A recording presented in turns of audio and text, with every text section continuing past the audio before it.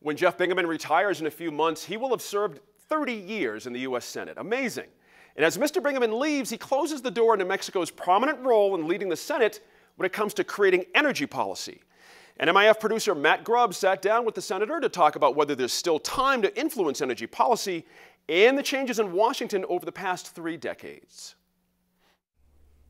Senator Bingaman, good to have you back with us. Great to be with you. One of the things that's been frustrating, um, both for you and for Senator Domenici um, before he retired, was formulating a, a, national energy policy. And I know it's a passion that both of you shared, and we were, I don't know if there's ever been another position like that where you can basically just swap chairman of the same committee, Energy and Natural Resources, and have them be from the same state with not the same, but similar interests, and certainly wanting to protect New Mexico. How do we go forward um, with a national energy policy? Well, I think that uh, we have to have a consensus at the national level on what our objectives are uh, in a national energy policy, and uh, that's the part that has unraveled just in, in the last few years. I think uh, during the Clinton administration, during the Bush administration, certainly uh, the first couple of years of the Obama administration, there was a uh, consensus that uh, we needed to have an adequate supply of energy. We needed to have a variety of sources for energy production so that we weren't so dependent upon one source. We needed to reduce our, our imports of energy, energy fuel, in particular oil.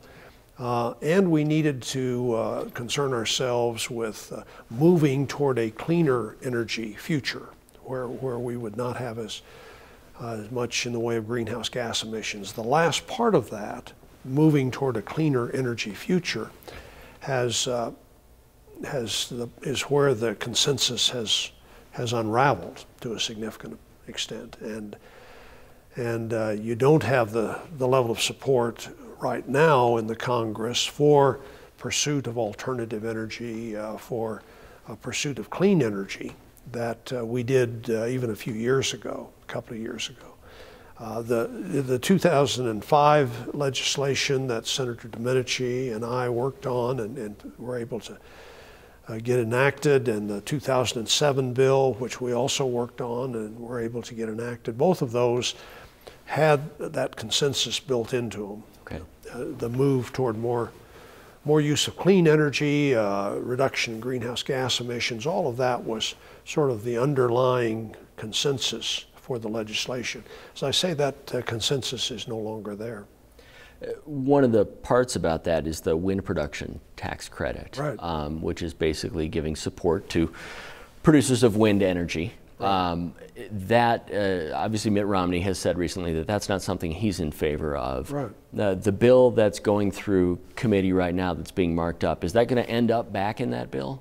Well, we just uh, reported out a bill out of the Senate Finance Committee that extends that credit through okay. through the end of 2013, uh, and uh, and also makes some improvements in the way the credit is calculated. So uh, at least in our committee, uh, and, and we had good Republican support mm-hmm. from some senators who are from states that have substantial wind energy production. Uh, we had a consensus to go ahead with that. Now, whether we could get that through the full Congress, I don't know. We'll find out maybe in the, in the coming weeks. It's difficult, you know, just here in New Mexico, um, we hear Susana Martinez say that businesses hate not being able to plan. Uh, and you just said that that tax credit is extended through 2013. I mean, that gives them another year, but is that really enough? No, it's certainly not enough. And uh, what we ought to be doing is is putting in place policies that would uh, extend for 10 years uh, or longer so that people would know this is going to be the the tax treatment of this activity or this is going to be the requirement, the regulatory requirement. That's why uh, you know I have proposed uh, legislation along with what President Obama has advocated uh, to, to establish a clean energy standard, which would basically be a, a regulatory way in which we would require utilities to move toward more and more use of, of uh, less emitting types of energy production. Uh, that would be much preferable. We can't pass that. Uh, and uh, we, have really got two tax codes. Most people don't realize that, but we've got a sort of a permanent tax code that was enacted before we ever adopted a budget act in Washington.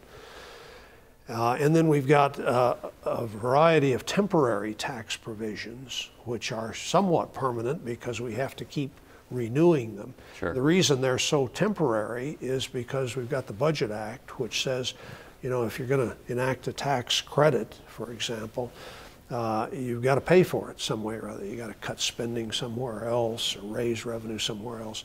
And uh, any rate, the, the alternative energy uh, tax provisions are all temporary. Okay.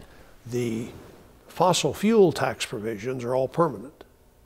Uh, so the oil industry and, and, natural gas and coal and all of those uh, tax provisions are permanently in the tax code, whereas those that relate to newer forms of energy, newer alternative forms of energy, are all temporary. Why haven't Democrats had more success in in presenting that argument, in, in crying foul and saying, hey, look, everything that you're saying about our wind and our solar tax credits or whatever the clean energy um, might be is exactly the opposite for our fossil fuels, for our natural gas and oil. What what's kept them from having that success? Do you think? Well, I don't know. I mean, uh, I'm not an if expert you knew, on. Right? If I knew, I would. Uh, I'd be rich. Uh, no, I think uh, it's just very. It's it's a little bit of a complicated argument to make uh, to explain to people why why there's a disparity of treatment here. Uh, hopefully, if we get actually, if the Congress gets to comprehensive tax reform, which everybody talks about, but uh, we'll, we'll, we'll see whether the next Congress can really uh, make progress on that. Uh, that would be the opportunity to sit, you know, put them all out on the table and say, let's make some sense out of these and figure out which ones are worth keeping, which ones are worth keeping for a while and then phasing out, and which ones uh, we should just eliminate. I mean, those would sort of be three good categories. Uh, some, some of the tax provisions that we put into law should be phased out. I mean, the idea of them is, is that, uh, you know, we want to be sure that this new technology, whether it's wind or whether it's solar or whatever it is, gets a chance to mature before uh, we deny it tax uh, privilege or, or, benefits.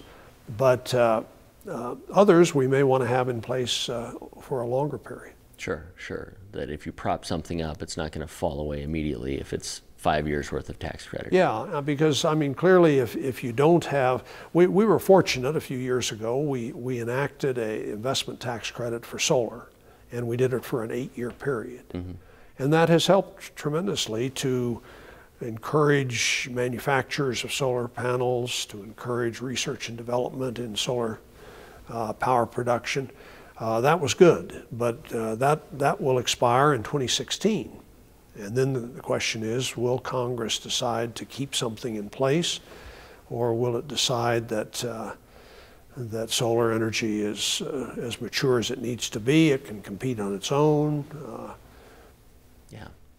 Um, one of the one of the keys to renewable energy is having a place to send it, um, and we hear about uh, all these transmission lines um, that are, of course, tied into the power grid, and that's another area that you've been pushing at fairly strongly, um, finding a way to ensure that that power grid is a reliable and b secure. Um, just talk to me a little bit uh, about the reliability aspect of it. Yeah, well, we have a uh, uh you know we the big threat there, as we were talking before the show um, the big threat there is cyber attack uh, and, and, also other types of natural uh, vulnerabilities that the uh, electric grid is subject to. Uh, there, there are some scientists who uh, believe very strongly that, uh, that these solar disruptions can substantially impede the reliability and of our electric grid if we don't do things to harden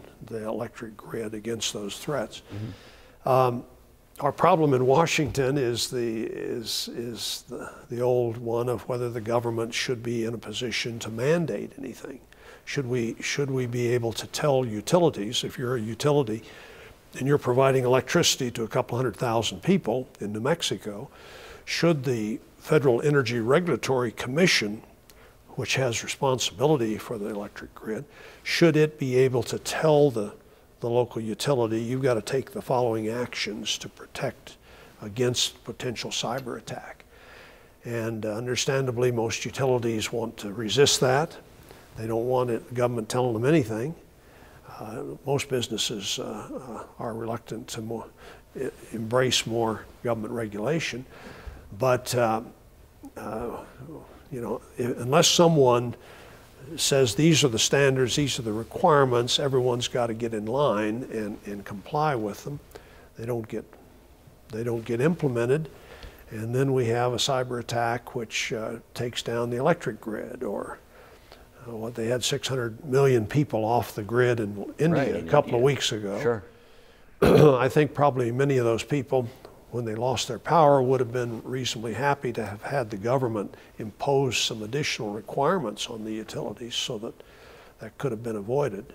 Sure. But, but we've had this debate for the last several weeks in Washington, and uh, to try to pass some kind of strengthened authority uh, to deal with cyber attack, we can't get the votes. Is that the way that wars will be waged in the future? I mean, we hear about um, what happened in Iran, and obviously the U.S. name is going to be mentioned every time there's something like that. Um, certainly, China's been poking at us for a very long time. Um, is that the kind of work you see um, the government doing it, and, and, maybe even places like Los Alamos and Sandia in the next 20, 30, 40 no, years? No, I think it's very much uh, part of our what we, part of the challenge we have in national security. And the Department of Defense will tell you that. They, they give us briefings, the intelligence community gives uh, the Congress briefings and says that this is a very real threat. This is something that we need to worry about. That uh, obviously uh, it would not take a great deal to, to do substantial damage to our economy and to our ability to keep the uh, economy functioning. If, if the power were to fail or the communication systems were to fail or computer systems were to fail. So um, we need to do a better job in these areas and uh, and, in my view, this, uh, this tells you something about my political philosophy, but uh, you, can't, you can't get from here to where we need to be just relying on voluntary action by all the players. You can't just say, let's leave it up to every utility to decide whether they want to comply or not. Uh, that you know most of them probably will, and the ones that don't, uh, you know, we don't want to offend them. Uh, that that to me is not an adequate response.